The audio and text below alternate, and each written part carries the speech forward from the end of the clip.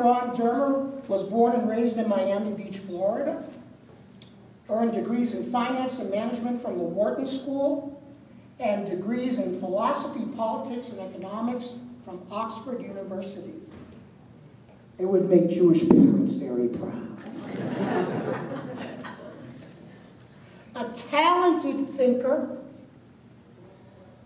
a prodigious writer. He was a columnist for the Jerusalem Post, and in 2004 he co-authored with Natan Sharansky the best-selling book, The Case for Democracy, The Power of Freedom to Overcome Tyranny and Terror. We probably need to read it now again. From 2005 to 2008, Ambassador Dermer served as Israel's Minister of Economic Affairs here in the United States. From 2009 to 2013, he was senior advisor to Prime Minister Benjamin Netanyahu.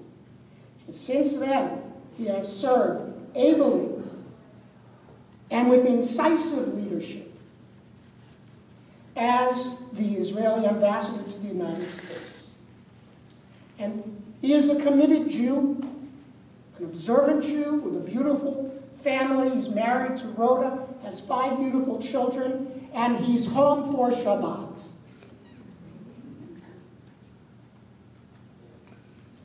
But most of all, everything I've learned about you, Ambassador, is that you possess, you are the embodiment of what we read in rabbinic tradition. It's called Ahavat Yisrael. Ahavat Yisrael is love for Israel in all of its manifestations. And we know, Ambassador, that this Ahavat Yisrael for you knows no bounds.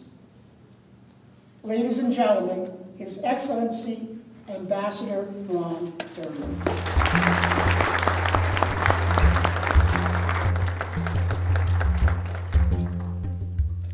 Thank you, uh, Rob, and thank you especially for making clear that people should read my book again. They are available on Amazon. Um, I also want to thank Ron. Um, just remember, two Rons don't make a right. but I want to thank both of you for your leadership in this community and this committed community. So I've been looking forward to visiting in this community. This is the first time, even though I was born and raised in the United States, that I've ever been to New Mexico. I thought that this was the first time that a sitting ambassador of Israel to the United States had been to New Mexico, but someone told me earlier that Moshe Arad was here some three decades ago, uh, and uh, maybe it is fitting that I would be here in the week that Moshe Arad dies, because he died a few days ago, for those of you who don't know, and so I will dedicate my remarks to his memory of a very fine diplomat, former ambassador uh, to the United States and to Mexico. Uh, how many, show of hands, how many people were here when Moshe Arad came? So that's your answer about whether people remember. They do. So, but it's been 30 years since a sitting ambassador has been to this community, and I'm honored uh, to be here. I wanted to come here to address uh, this community as I've done in so many other communities, and I've been privileged to do that during my now seven year tenure. I'm in my seventh year as Israel's ambassador to the United States. And it gives me an opportunity to speak about the many challenges that are facing Israel. And there are always very, very serious challenges facing Israel. Unfortunately, we haven't reached the point where we're surrounded uh, by neighbors who we are at peace with. We haven't reached that moment. I believe one day we will, but we're not there yet. And so we have many challenges facing Israel. Foremost among those challenges is Iran and the security challenge that Iran poses to us. That's a regime in Iran that calls openly and works actively for the destruction of Israel. And they, even in recent days, reiterated their commitment to destroying the one and only Jewish state. It's a regime that seeks nuclear weapons and seeks regional domination. And the nuclear deal that was made a few years ago didn't stop Iran's pursuit of nuclear weapons, unfortunately. Had there been a deal that would have actually blocked Iran's path to nuclear weapons, I, as Israel's ambassador, would have been the first person to support that deal and would have gone community to community, house to house to get people to support it. By the reason that we opposed it was because that's not what the deal does. It just puts temporary restrictions that were removed in a few years. And in addition, it also freed up Iran from the sanctions regime, the very, very heavy sanctions regime uh, it was under at the time, and that helped fuel Iran's regional aggression. And we see that aggression in Iraq, and in Syria, and in Lebanon, and in Yemen, and in Gaza, and throughout the region. And for, know, there are many issues, internal issues in the United States, but I hope people here can understand why the people of Israel, and this is very broad, it transcends our ideolo- different ideologies and the political map in Israel, why we are very grateful in Israel for President Trump's decision to withdraw from the nuclear deal and reimpose sanctions. That has starved a regime that is committed to our destruction of billions and billions and billions, tens of billions of dollars. Uh, and we are grateful. It hasn't solved the problem of Iran. Iran is poor because of that decision, but they're still very, very dangerous.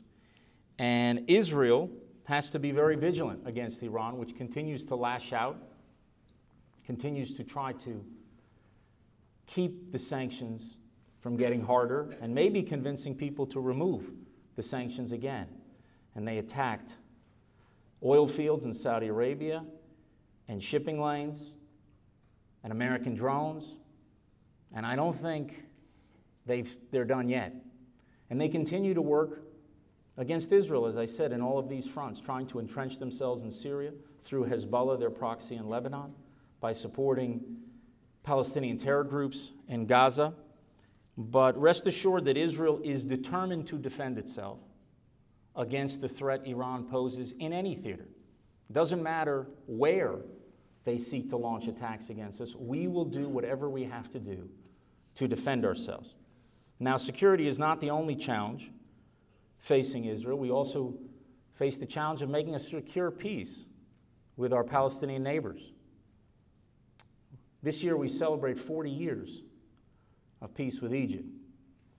Many of you probably remember a world when Israel wasn't at peace with Egypt, and it was a more dangerous world for Israelis who fought multiple wars with our southern neighbor. And this year we celebrate 25 years of peace with Jordan, and we're grateful for that. And we would like to expand that circle of peace to all of our Arab neighbors, including our Palestinian neighbors. And there are many positive changes, and maybe we'll talk a little bit about them later, that are currently happening in the Arab world. And many forces there appreciate that Israel is not their enemy, but a potential ally in standing together against common enemies. Israel faces internal challenges of integrating our ultra Orthodox population and also Israeli Arabs into our country. I think the last time I saw the statistics, around 50% of first graders in Israel belong in those two communities. So this is an issue that's going to affect our future and whether or not Israel succeeds at integrating those two communities, ultra Orthodox and Israeli Arabs, is going to play a big role in our continued success. Now, Israel faces the challenge of rising anti Semitism across the world. You saw that anti Semitism in Charlottesville in 2017. You saw it in Pittsburgh, whose one year anniversary we marked a week ago when 11 Jews were massacred in the synagogue there. Now, it's not a new problem. Sometimes we get so locked into certain views that we can't take a step back and see a problem for what it is. In 2014 and 2015, attacks against Jews represented over half the attacks against religious, uh, religiously motivated attacks in the United States. Now, Jews represent about 2% of the population, but it counted for over half the attacks. And so this is a problem that has been growing in the United States for a number of years, and it's growing all over the world. And you see that in Europe, where it's commonplace attacks against Jews, in France, in Germany, in Britain. And in Britain, there was a leader of a major party who I have a hard time not describing as an anti Semite. And I don't use that word very often. You can Google how many times I've used that word. You have to really, to put that label on somebody, you have to be sure that's what they are. And it's hard for me to not use that label against the leader of the Labour Party in Britain. And it's important for us to confront the hatred of Jews wherever it comes, whether it comes from the right or whether it comes from the left. And it's important for us, whatever side of the political aisle we are, to actually call out the anti Semites on that side. We also have the challenge of the insidious BDS movement, which is an anti Semitic movement. That's what it is because it seeks to single out the state of Israel alone among nations of the world for boycott, divestment, and sanction. When I get asked as Israel's ambassador, what do I think about this or that group that's boycotting Israel? Could be an academic group, could be a church group or another group. I ask always the same question What number are we on their list? That's what I want to know. Are we number 25, 45, 75? Countries around the world that they have decided to boycott? Because if we are number 25 or whatever, then I know that they have a standard, some principle, and they've cast their net around the globe and they have included Israel. They've put Israel on that list. And I think my job as Israel's ambassador is to educate them, is to explain why Israel shouldn't be on that list, shouldn't be included, and to give them all the context and the nuance and the history but when I hear that one of these international organizations or a university has only one country on their list, then I don't go and engage them. Because there's a principle for having only Jews on your list. There's a name for that, and it's called anti Semitism. The mark of anti Semitism was historically the attempt to single out the Jewish people for special discriminatory treatment. And that is exactly what the BDS movement does to Israel. Now, almost all the leaders of the BDS movement want to eliminate the state of Israel. They say so openly for anyone who bothers to actually do a Google search. They have some fellow travelers who don't want to destroy the state of Israel who are just fools, who are useful idiots, and moral idiots, I should say, in this struggle. But we have a real challenge to expose this old anti Semitism with a brand new face and to fight it through state legislatures, through legislation, but community after community to stand against it and to not allow this evil to resurface because we've seen what it does in our history. And of course, Israel has the challenge of ensuring that we always remain a country open to every single Jew, whether they are traditional or secular, orthodox, conservative or reform, to address a lot of the issues that have long been swept under the rug. Conversion is one of them. You probably in this community know many others. But how can we ensure that Israel is a place where every Jew in the around the world can feel that unique connection that we have to it? How do we ensure that everyone can call, every Jew around the world can call Israel home?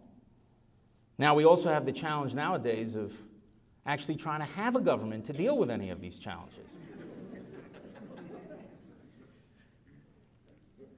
You know, I used to sometimes remark about Israel's political instability, but please, this is sort of off the charts.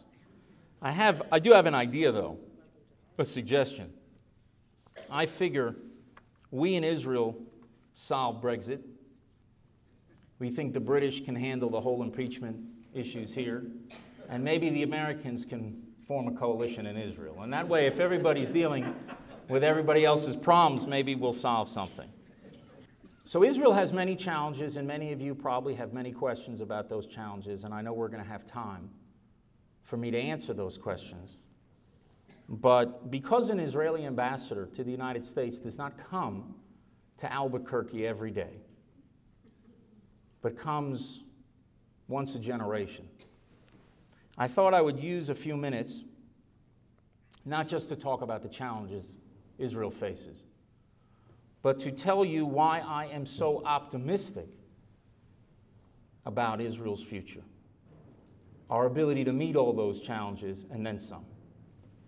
Now, this is going to be hard for you to hear because we Jews have a unique capacity to see the glass as 116th empty. we do. You all know it.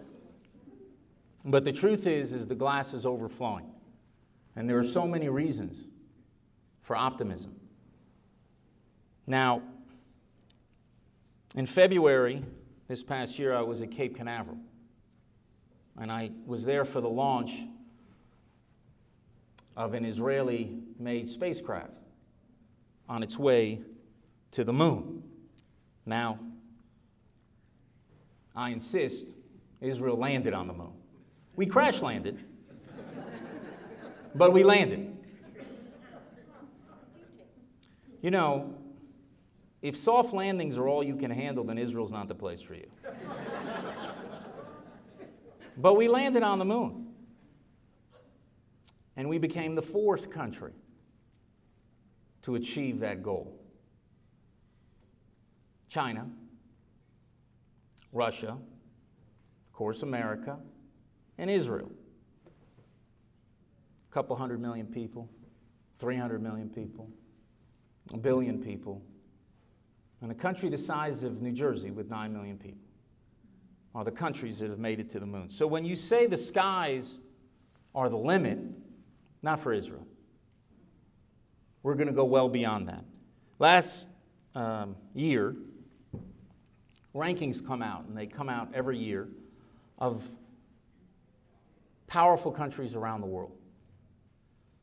Israel ranked eighth. Eighth.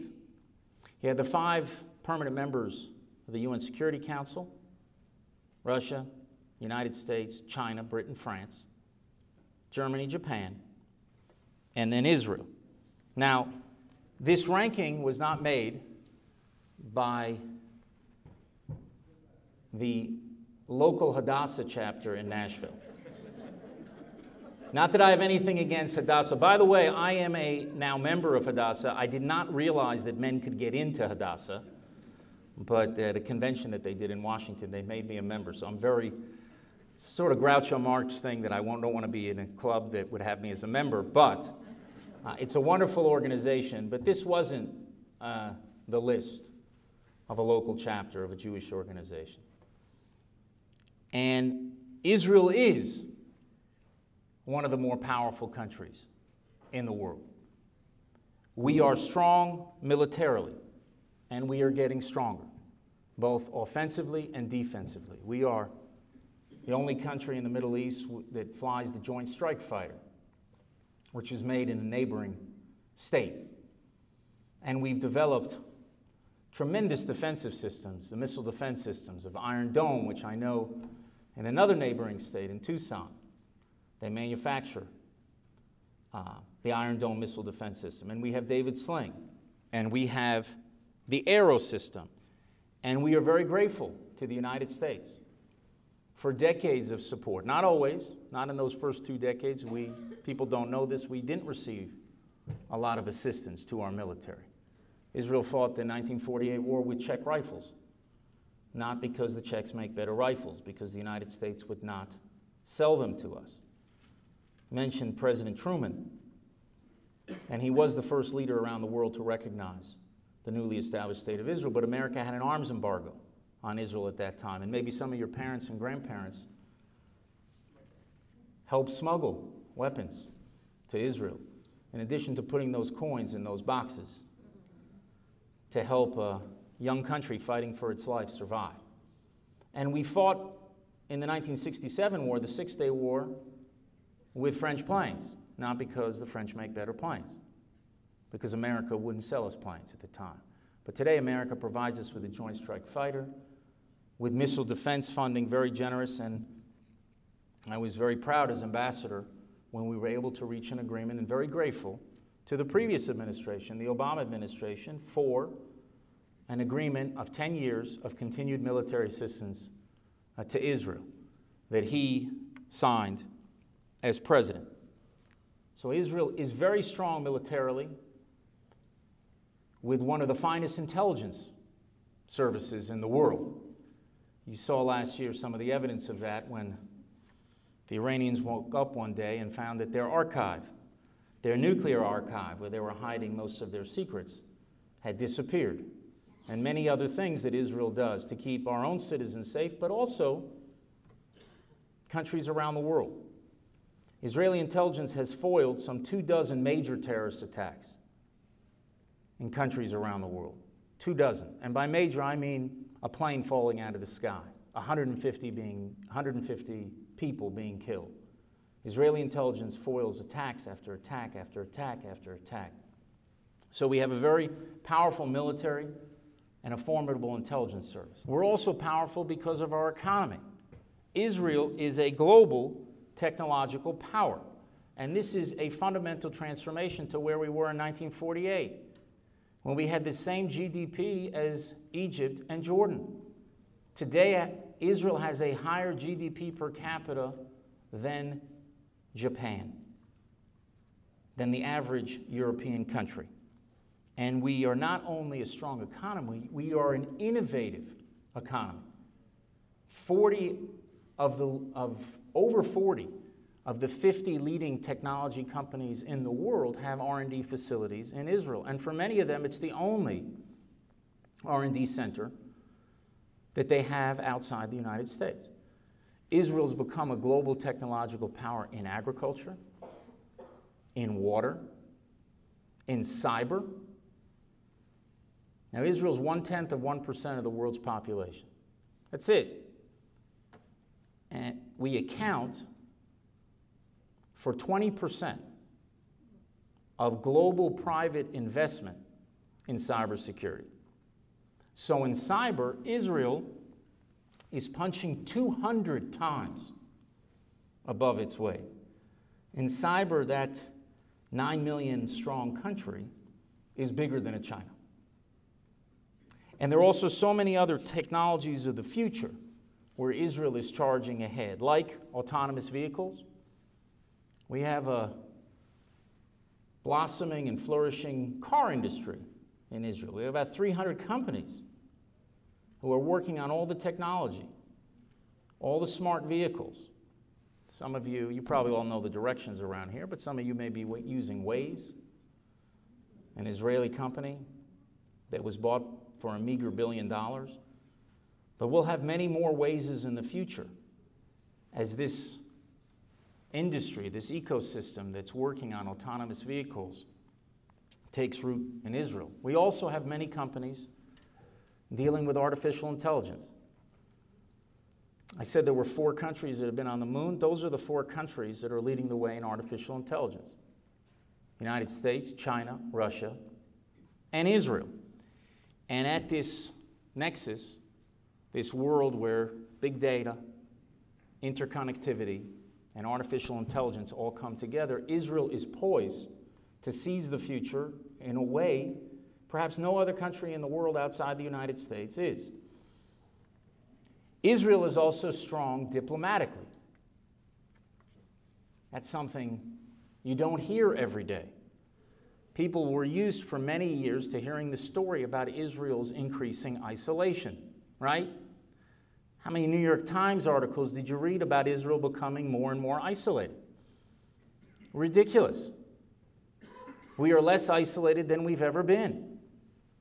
Israel's ties are expanding dramatically across the world with India, with China, with Japan, South America, Africa, Russia, European countries. Everywhere you look, people are deepening their ties with Israel. And the reason why they're doing it is they want access to Israeli technology. And they want our help in dealing with their security challenges, in dealing with the threats of terrorism that they face. Because of our security capabilities and our technological capabilities, Israel is rising as a power on the world stage. And it's fundamentally transforming our relations with countries around the world. Now, you haven't seen that translated yet in international forums like the United Nations, but it's coming. You know, we were waiting for a long time for a tailwind from Washington. And for two years, we got a tailwind. Her name is Hurricane Haley. And she did a terrific job as Nikki Haley as America's ambassador to the United Nations, standing firm with, of course, the full support of President Trump, but standing firm for Israel and helping transform and quicken the pace of the change in, of Israel's standing in international fora. Now, I believe that the day will come where we will crack the automatic majorities against Israel, because those automatic majorities were made in a different era when Israel was not important to all these countries. The reason why our ties are flourishing is not because a wave of Zionism has spread across the planet.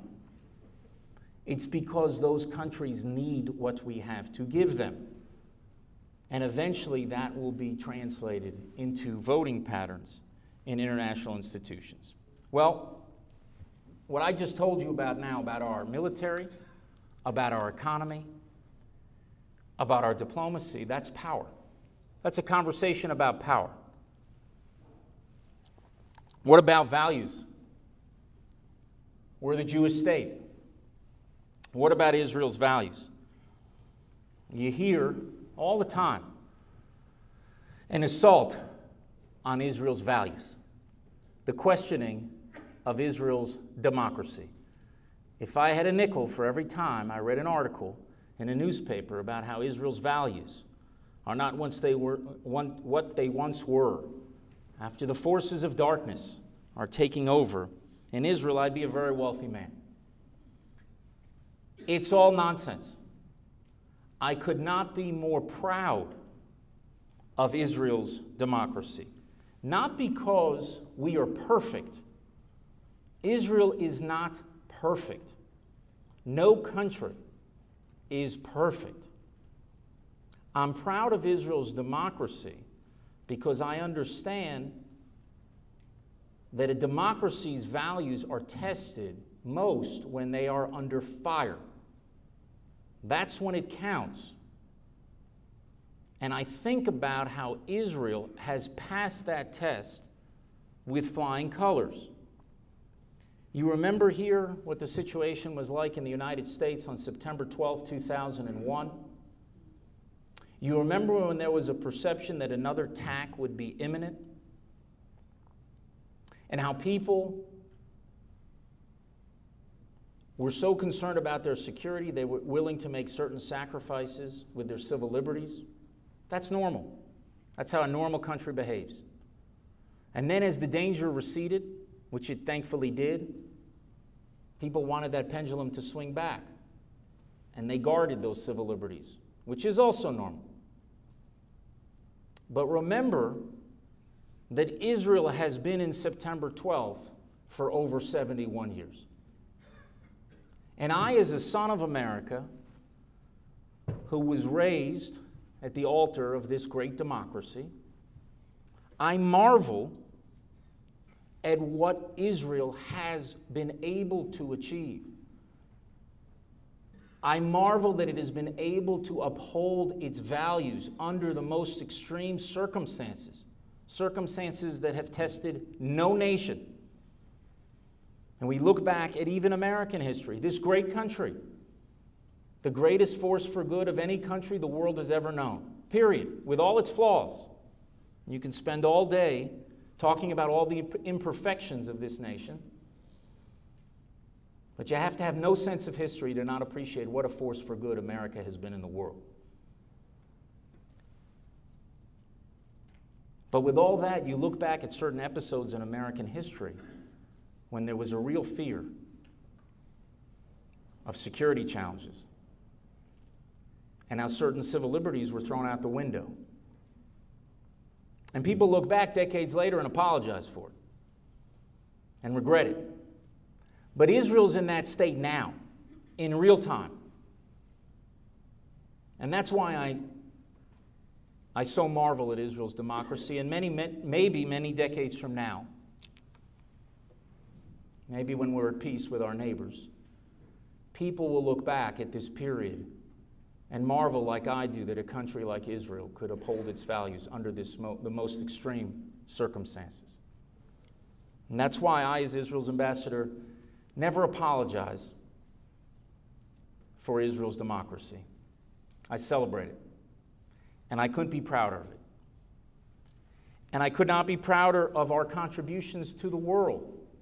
That fabulous technology that I talked about, that's in your computers and your cell phones and your medicine cabinets, and that's transforming lives for the better around the world, that's feeding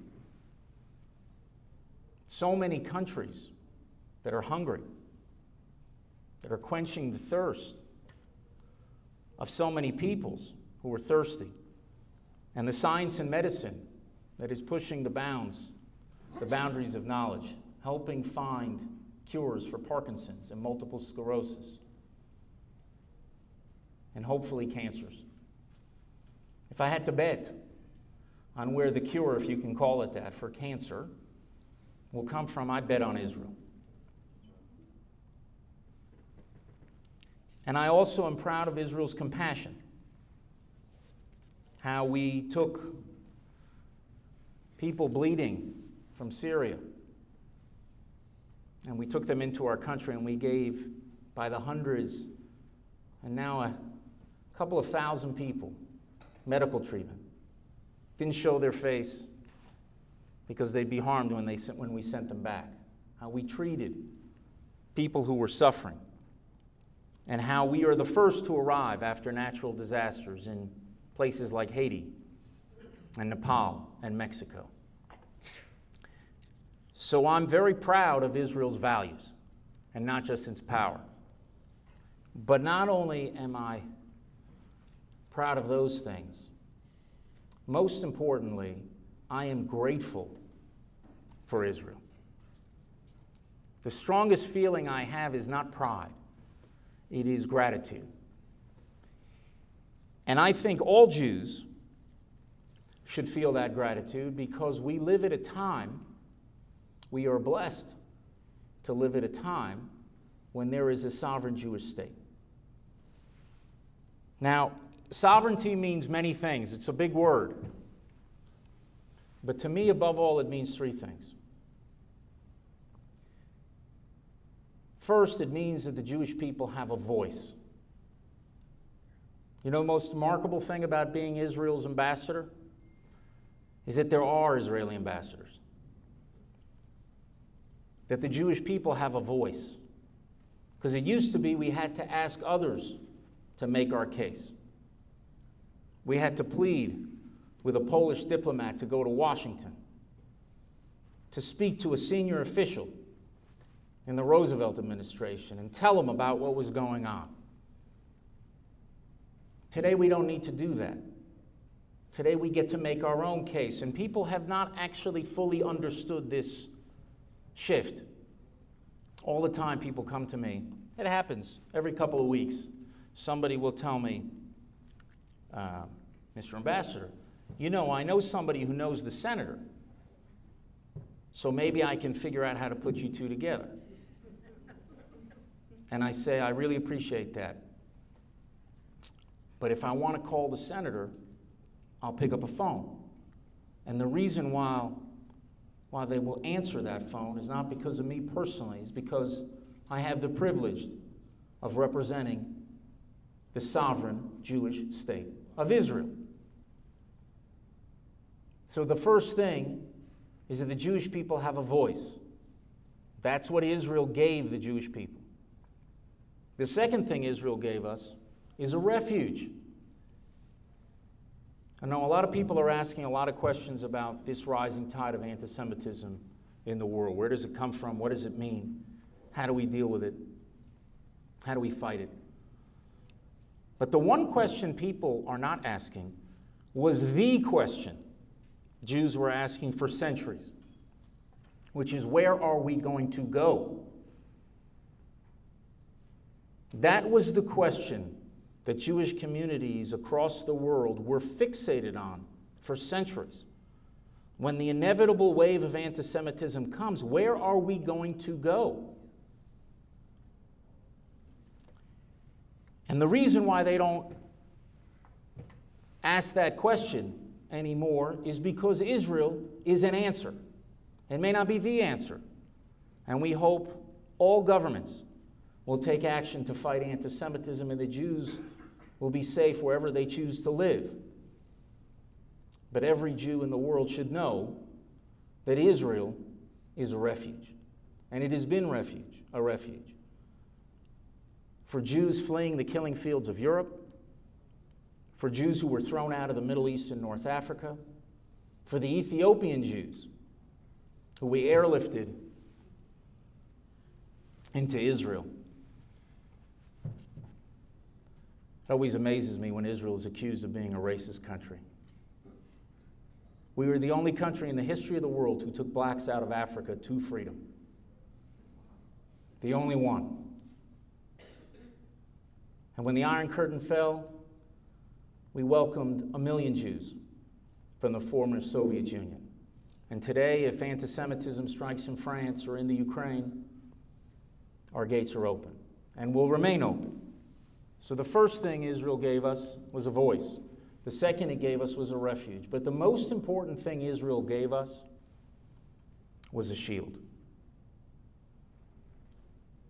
For 2,000 years, the Jewish people had to beg the local policeman or the magistrate to protect us from pogroms and massacres.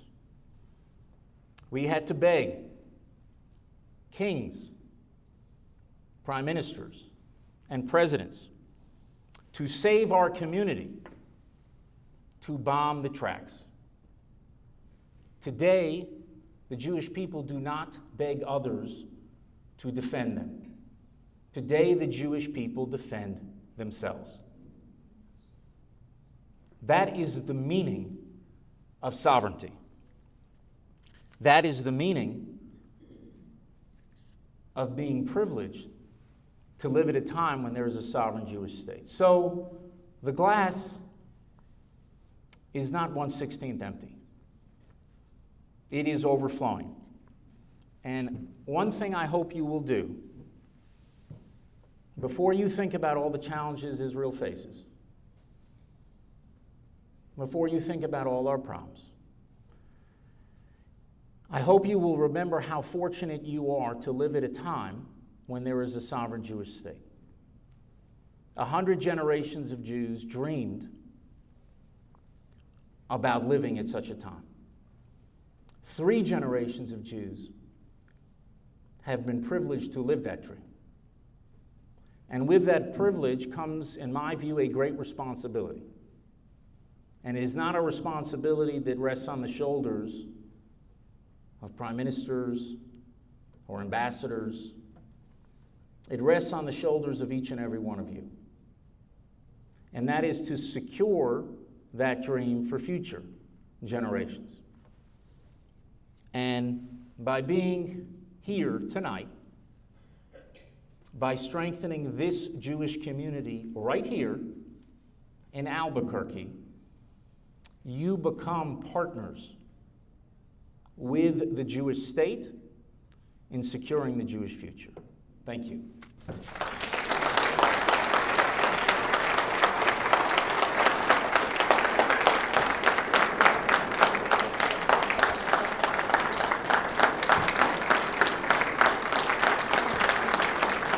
Thank you.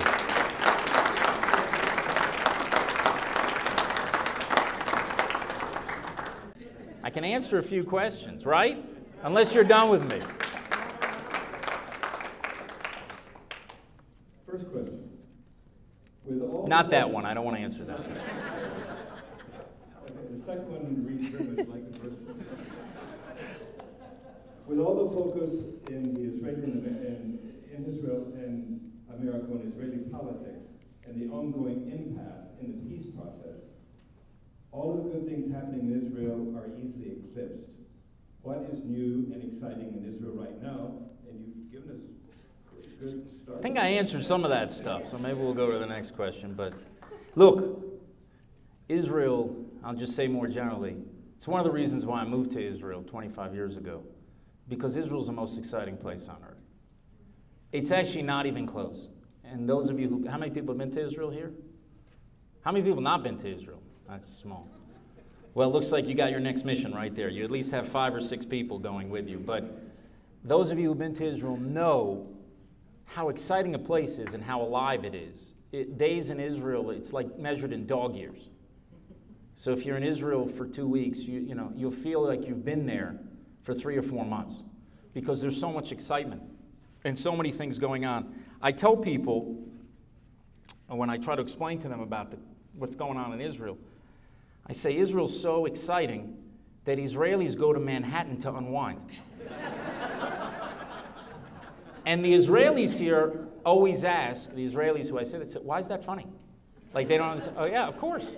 That's how we relax in Manhattan because it's so exciting. And actually, I have a confession after the. Uh, We have a Rosh Hashanah event every year. So when I did the Rosh Hashanah event in 2017, which was the first year of the Trump administration, I said this is hard for me to admit after 69 years, which it was, Israel was at the time, that for the first time, Israel's become more boring than America. So one of the reasons why we did this whole political crisis, I think, is just because we want to get the prize back. We want the title back of the most exciting country.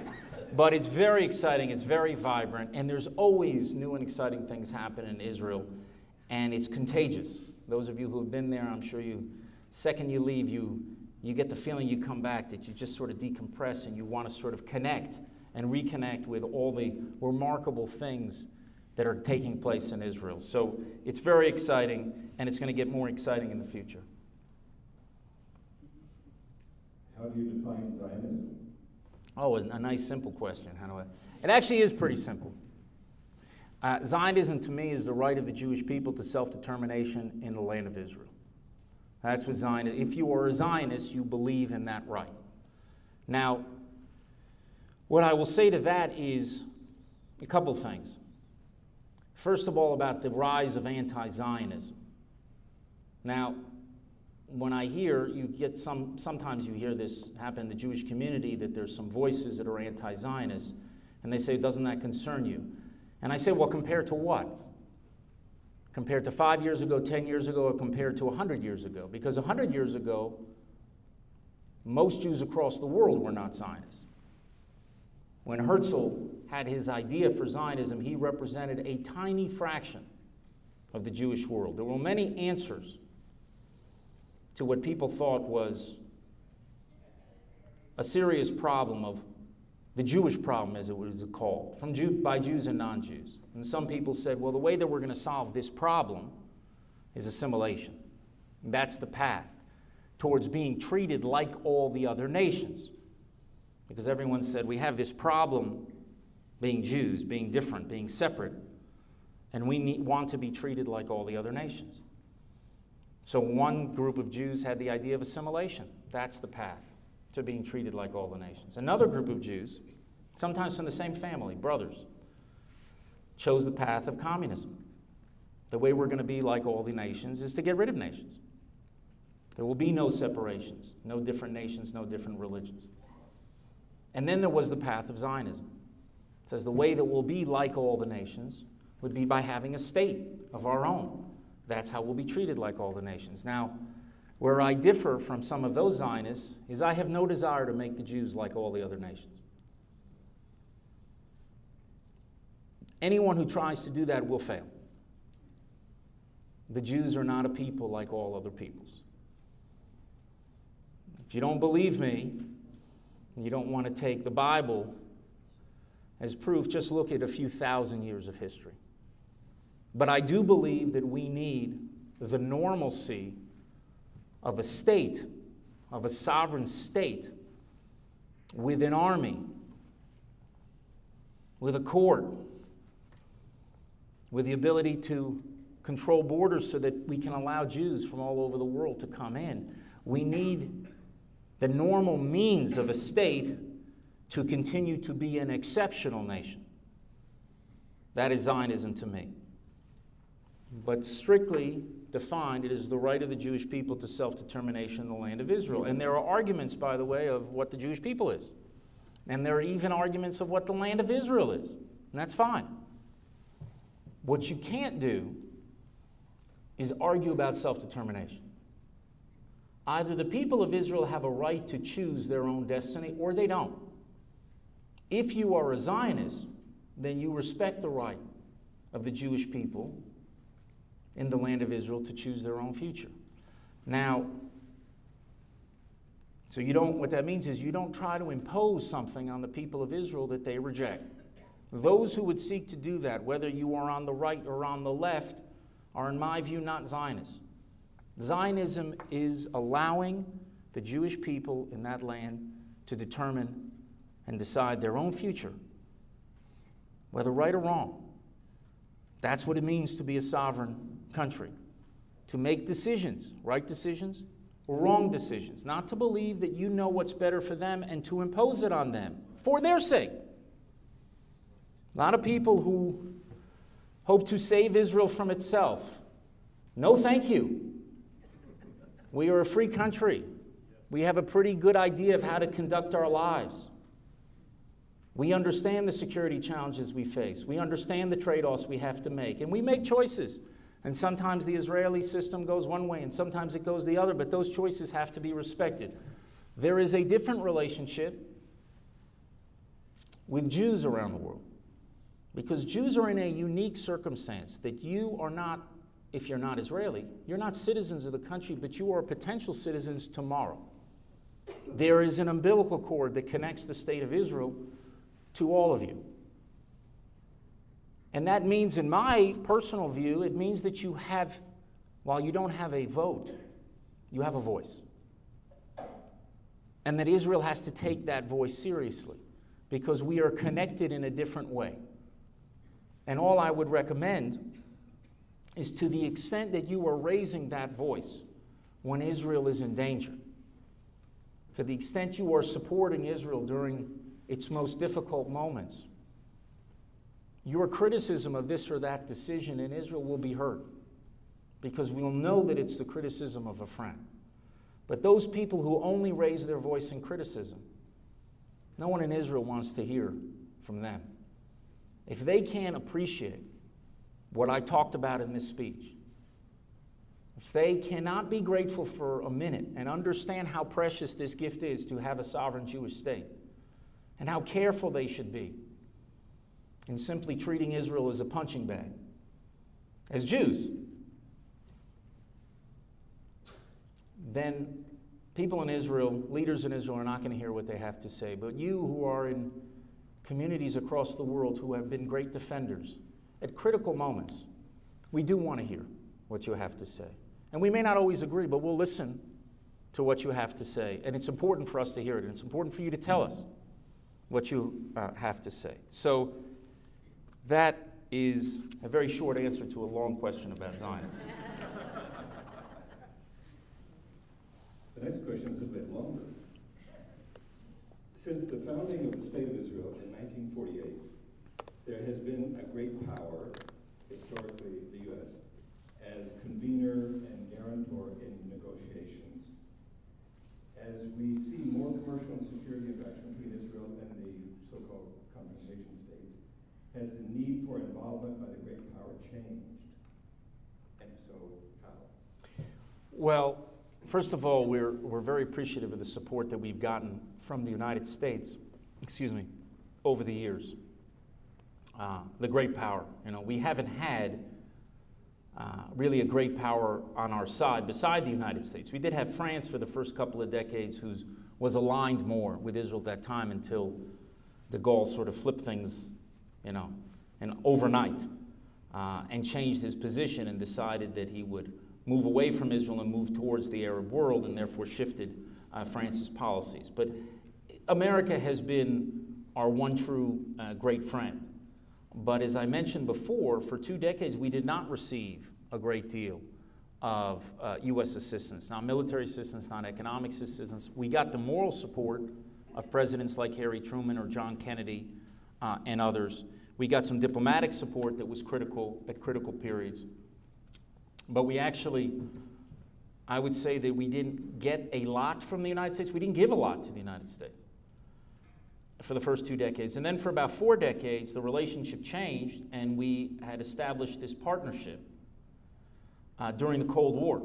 When Israel proved itself successful on the battlefield, then the United States started investing a lot more in Israel. When we made the peace agreement with Egypt, the United States wanted to make sure, rightly so, that Israel would emerge stronger after that peace agreement, giving back this strategically vital territory that's about three times the size of Israel and that also had oil there.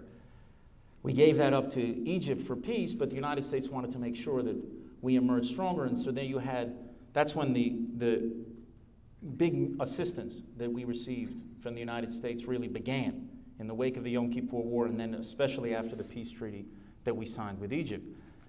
Um, and nowadays, our relationship with the United States has taken another step.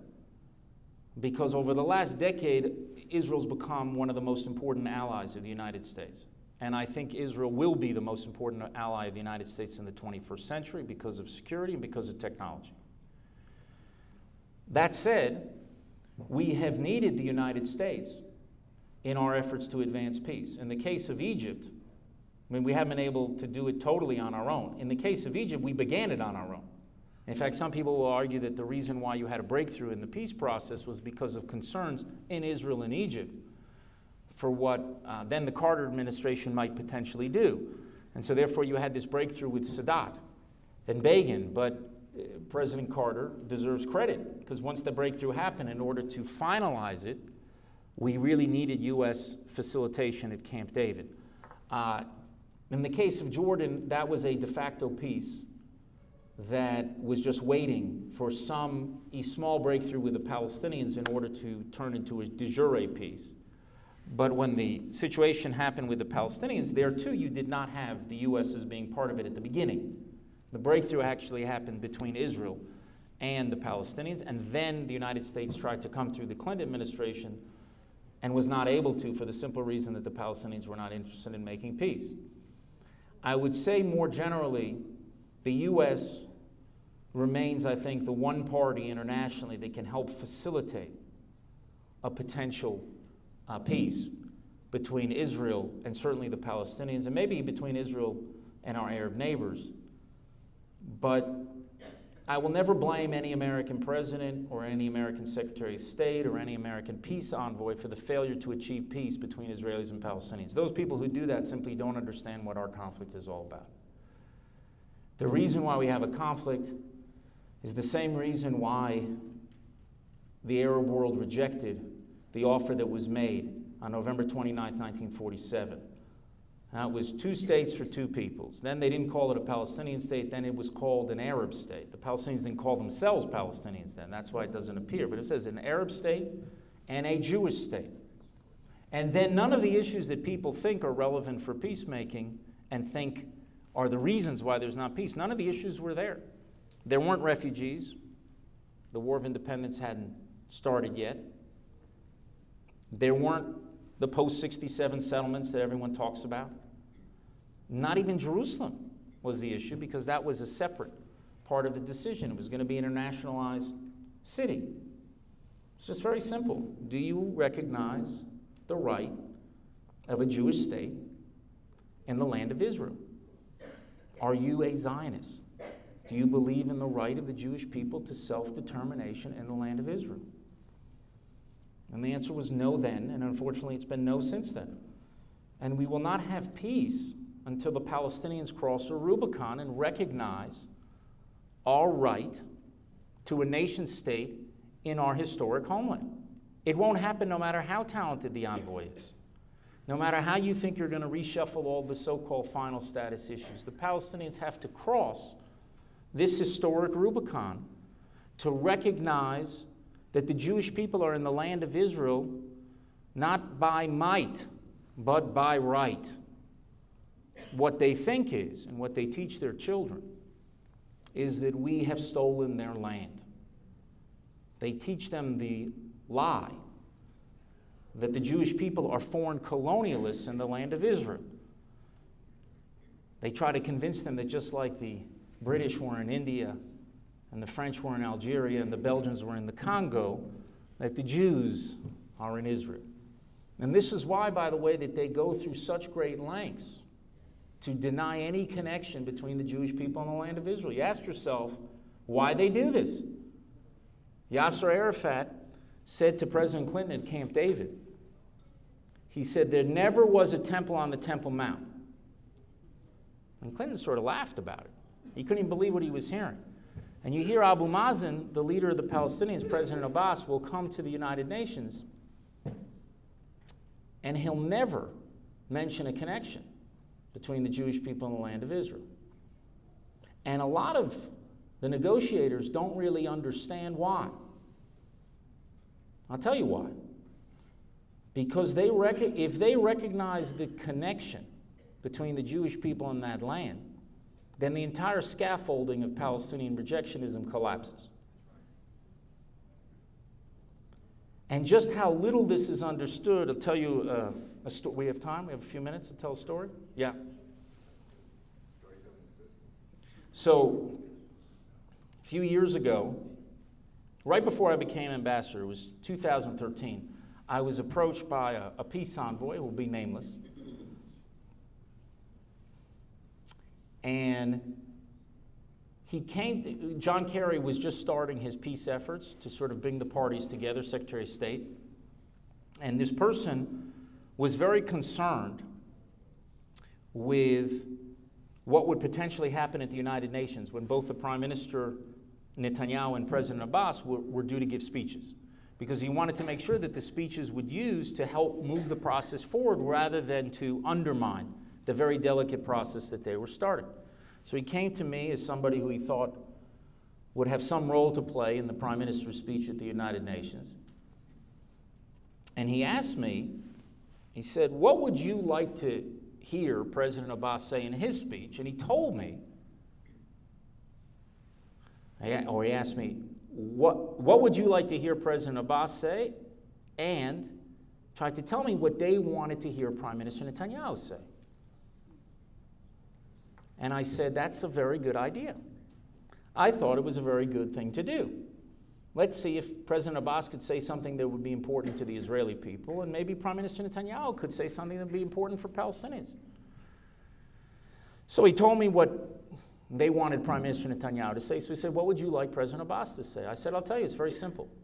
I don't think he's going to recognize the Jewish state in a speech at the United Nations. He hadn't done it at that point for many years and I didn't think there would be a breakthrough there, but I asked him to do two things.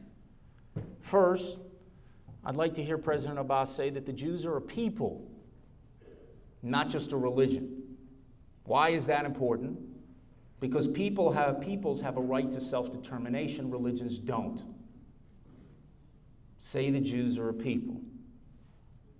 Second, talk about a connection between the Jewish people and the land of Israel. Forget about what happened in the last hundred years. He doesn't have to mention anything about this century conflict with the Pope. Talk about Jews praying towards Jerusalem three times a day. Talk about the kings of Israel or the prophets of Israel going through those hills. Anything. So he listened to what I had to say and he said to me, Well, I think that's doable. And I said, No, it's not. It's not.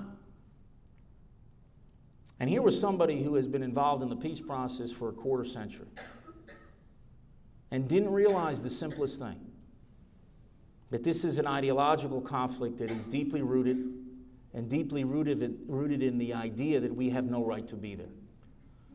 Of course, he called me back a few days later. He says, You know, we're right. He's, you're right. He wasn't willing to say it. No, he's not willing to say it. They're very clever about their language and they have convinced the world that they have reasonable positions. But at the core, the conflict remains exactly what it was 72 years ago. The only question continues to be do they recognize the right of the Jewish people to self determination in the land of Israel? Somebody said to me, Well, you're saying that they have to be Zionists. I said, Yes. In my understanding of what that means, they have to say we have a right to be there. They can say, by the way, that they have a right to be there too. I don't ask them to deny their right. They can say, we have a claim, you have a claim.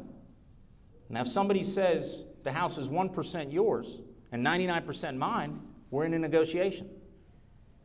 But when they say you stole my house, there's no way of reaching any type of an agreement.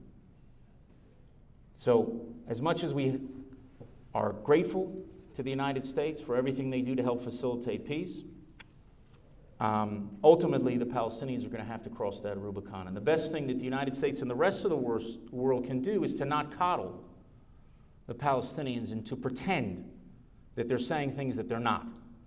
To not allow President Abbas to come to the United Nations and to deny history, to deny reality. And this, by the way, is the reason why the decision to recognize Jerusalem as the capital of Israel and to move the American embassy is so important to the advance of peace.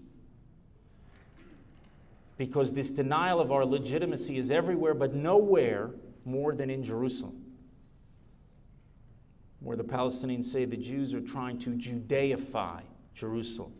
It's interesting. It's like the Chinese trying to Sinify Beijing, the Russians trying to Russify Moscow. We are Judaizing Jerusalem. A thousand years before the birth of Jesus, 1500 years before the birth of Muhammad, King David ruled in Jerusalem. This is where our kings ruled and our prophets preached and where our patriarchs prayed.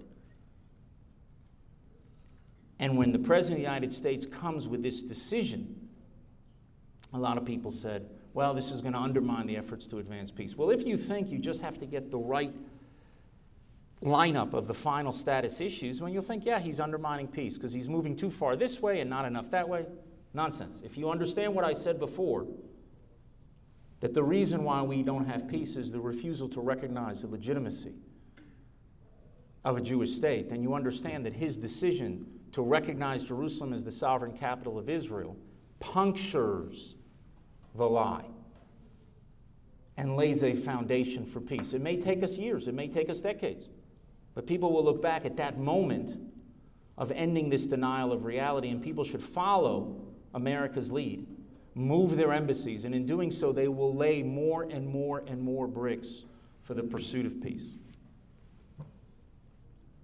That's another short answer to a long question.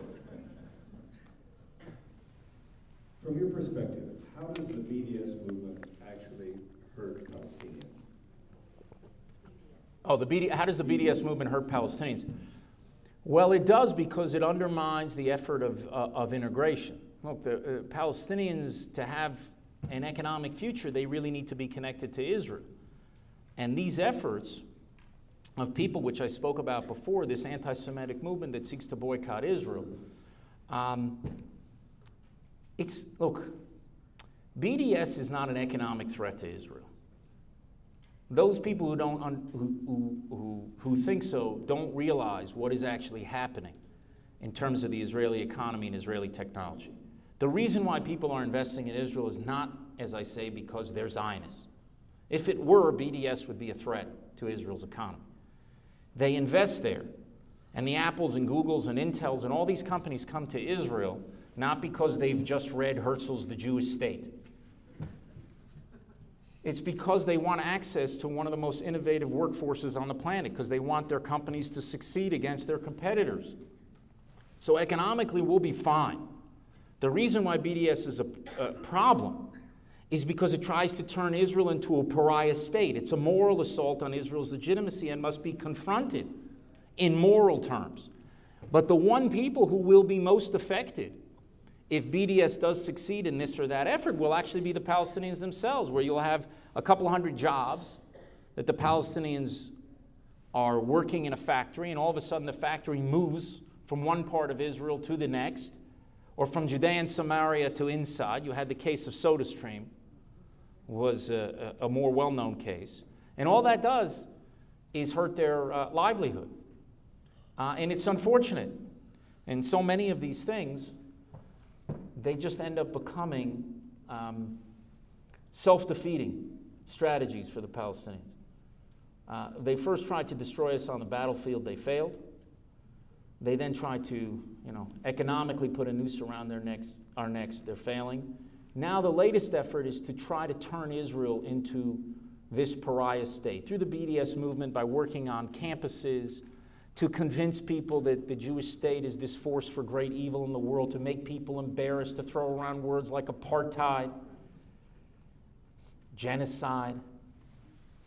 Israel must be the dumbest genocidal force in history because the Palestinians are about five times the size that they were in 1948. So we're really doing a terrible job of trying to wipe them out. And the reason why we're doing a terrible job is we're not trying to wipe them out, we're trying to make peace with them. But the attacks and the assault continues. And the worst thing is when we believe the outrageous libels against us. Don't do it. The worst thing that happened to the Jews, besides the physical assaults, is when they internalize the attacks against them when they internalize the libels against them. You know, a great Zionist writer from a century ago, over a century ago, named Ahad Ha'am, who was sort of Herzl's foil. Herzl wanted to. Ahad Ha'am was a, a very educated, scholarly Jew named Asher Ginsburg, who was like a Talmudist. And he became secular and was a fantastic writer. If you've never read any of his essays, you you should read them, but he's interested in preserving Jewish civilization. And Herzl said, well, first let's preserve some Jews before we preserve Jewish civilization. That was the debate between them. But Ahad Ha'am wrote a very interesting essay that I read many years ago about how the blood libel had done something wonderful for the Jewish people. And you ask yourself, what could the blood libel have done for the Jewish people? He said, well, what it did for the Jewish people was very interesting because in the Middle Ages, most people believed that the blood libel was true. And not just the ignorant masses, I'm talking about the educated people in Europe thought that the blood libel was true. And he said the blood libel taught the Jews an important lesson. Because when everyone tells you that you're wrong, a normal person will start to doubt themselves, will start to question themselves. But all the Jews knew that the blood libel was a lie. So it, he writes this over a century ago. He said the blood libel did a wonderful service to the Jewish people despite all the pogroms and all the massacres and everything that went along with it, because it taught the Jewish people that the whole world could believe something and that the whole world would be wrong. And I remember 15 years ago, I was watching television, and I saw that we then had a, you remember, a wave of terrorism between 2000 and 2002, and Israel had this, this interesting idea that the way to actually fight terrorism and defeat it was to actually fight it and defeat it. And so we launched Operation Defensive Shield, and we went into a lot of Palestinian areas and towns, and we went into one of the worst places, Jenin, which had more suicide bombers come from there than any other place. And it was awful. But immediately, as Israel's soldiers went in and we're trying to go through, I mean, we did something that other countries, you have to understand this. I spoke about Israel's values before. Other countries don't fight terrorism like Israel. Most countries would go into a densely populated urban place filled a hornet's nest of terrorism by just basically dropping bombs from the sky and leveling it. That's what most countries would do. Moral nations would drop flyers and then bomb it and flatten it. What Israel did was we sent our young soldiers into this hornet's nest to prevent civilians on their side from being killed, meaning you're risking the lives of your own soldiers in order not to harm civilians on the other side. No nation in history, and it's not even close, has worked so hard to prevent civilian casualties of its enemies. It is not even close. And we went into this area of Jenin, and the press we kept out because we didn't want them to be casualties. And then there were all these libels that came about how many people were being slaughtered thousands, 5,000. And then I think it was Saeb Erekat, if I remember correctly, who only lies when he speaks, by the way. He said, I think 500 people were killed. Now, it turns out that the UN, that great friend of Israel, did a report, and I think 54 people were killed, something like 48 or 49 of them were armed, which is also remarkable in warfare. But at the time, there was this libel against Israel, and it was spreading really fast through the British press, some of the American press. It was awful. And I remember watching television. It was 2002, April or May, and Kofi Annan, who was not a great force of moral clarity when he was the UN Secretary General. That is certainly not his legacy. He came out to a podium filled with microphones. All the press was there. And he talked about and basically continued this libel. And he asked this question, and I remember it like it was yesterday. All these attacks against Israel and what we were doing in Jenin, a modern day blood libel. He said this, and I asked the people of Israel, can the whole world be wrong? And the answer is yes. The whole world could be wrong. And we as Jews should not internalize the lies of our enemies. And we certainly should not promote them among ourselves. And the most important thing that you can do is to educate yourself. And also, and I'll end with this, is to be pro Israel. And I, you ask me how I define Zionism, I'll say what it means to be pro Israel. To me, it's not about your position on the nuclear deal with Iran. It's not on whether or not you support a Palestinian state or two state solution. It's not on your view of the settlement. It's one question. One question. Do you want to believe the best about Israel or do you want to believe the worst about Israel? If you want to believe the best about Israel, then you're pro Israel.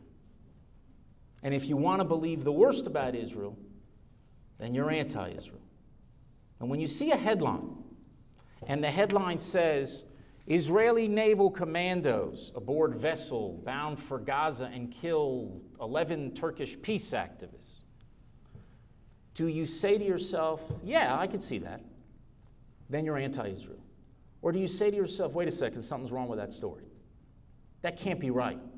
This is a moral nation. And did you find, find the facts? Before you pull that trigger and criticize the country that we are blessed, the sovereign Jewish state that we are a blessed generation to have, give Israel the benefit of the doubt. Make sure that your children and your grandchildren give Israel the benefit of the doubt.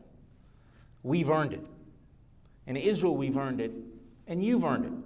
The Jewish people have earned it. And that will help secure this great dream for generations and generations to, to come. Forget about what our enemies have to say. Let's believe in the justice of our own cause. We'll do all right with that. Thank you.